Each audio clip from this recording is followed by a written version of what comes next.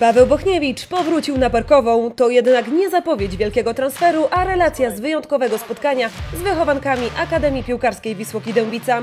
Popularny Bochen to wychowanek Wisłoki, reprezentant Polski do lat 21, były obrońca Górnika Zabrze, zawodnik holenderskiego klubu Herenven, powołany do pierwszej reprezentacji w meczu Ligi Narodów z Holandią oraz Bośnią i Hercegowiną.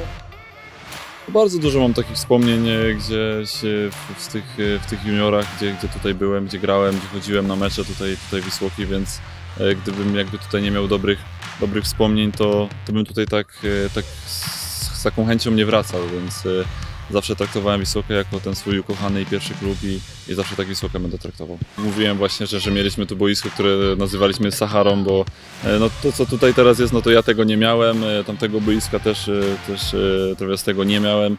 Były, były boiska tutaj takie, nawet nie wiem jak je określić, bo za dużo trawy na nich nie było. Sahara z tego względu, że więcej było na tym piasku niż trawy, więc no mówię, dzieciaki teraz mają tutaj super, super warunki no nic tylko się rozwijać. Bardzo się cieszę, bo zawsze chciałem poznać jakiegoś piłkarza. Jestem zaskoczony, bo fajnie poznać jest taką osobę jak Paweł Bochniewicz, który grał w reprezentacji Polski i zaczynał tutaj w Wisłoce. I też można zobaczyć dużo, dowiedzieć się dużo fajnych rzeczy od y, no, takiego już można powiedzieć zawodowego piłkarza. Ja się bardzo dużo pytałem, prawie cały czas i dowiedziałem się, że dieta to trzeba bardzo dużo poświęcić czasu też na piłkę. Musi, trzeba, musi piłkarz przestrzegać y, diety.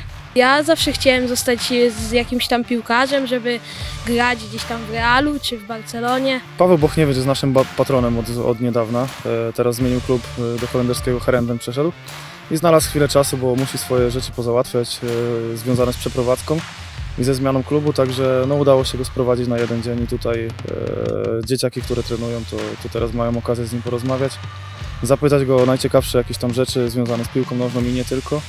I Paweł też przyniósł takie fajne e, gadżety dla, dla dzieci, także, także bardzo się cieszymy, że znalazł chwilę czasu pomimo tego, że jest zajęty, zabiegany, żeby, żeby z tymi naszymi dzieciakami trenującymi podzielić się swoimi wrażeniami. Dzieciaki są zachwycone, bo już praktycznie siedzimy tu od półtorej godziny, zadają pytania, pytania się nie kończą, te pytania są zróżnicowane, co grupa to ma inne pytania.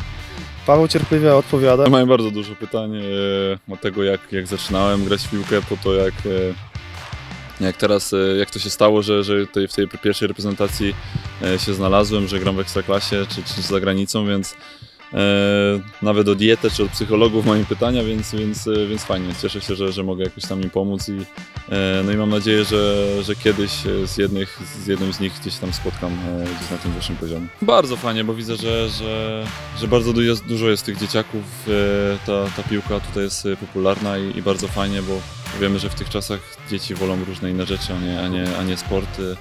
Więc e, no, chciałem być dla tych dzieci takim przykładem, że, że naprawdę nie trzeba być e, z Warszawy, Krakowa, Poznania czy Wrocławia, tylko można być e, z Dębicy czy spod Dębicy i, e, i gdzieś tam spełnia swoje marzenia i mam nadzieję, że, że któryś tutaj z chłopaków czy, czy dziewczyn, bo dziewczyny też widziałem gdzieś wejdą na ten najwyższy poziom. Inspiracja to słowo najlepiej opisuje wtorkowe spotkanie na Parkowej. Młodzi wychowankowie biało-zielonych mieli wiele pytań do swojego gościa. Rozmowy, wspólne zdjęcia, autografy i przede wszystkim piłka nożna. Ten trening Akademii Piłkarskiej Wysokiej Dębica na długo pozostanie w pamięci.